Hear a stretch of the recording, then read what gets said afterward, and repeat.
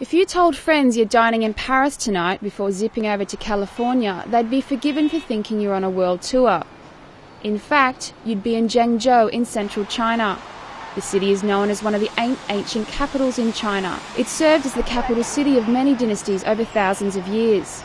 But in recent years, there's been an explosion in foreign names here. The local police station even calls itself the Arcadia Police Station in Zhengzhou. Because Acadia is the name of the community, so I don't think it has any problem. It's a new trend. It also mirrors the globalization that happens every day. But some locals disagree.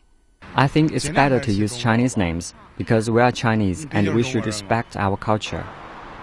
Residential communities have also fallen victim to the trend, with Manhattan and Venice also becoming popular.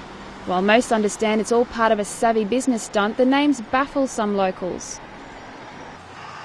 In order to curb the explosion, the local government has issued a draft regulation outlawing the use of foreign names when branding new developments in Henan province.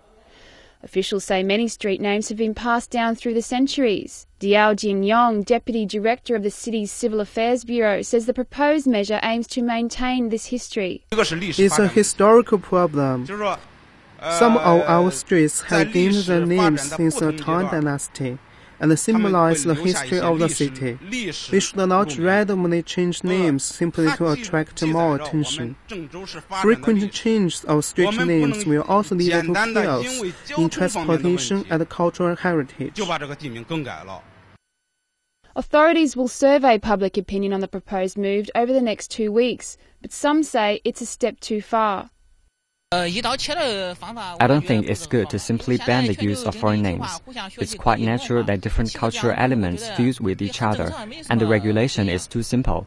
It won't do much to help in maintaining cultural heritage.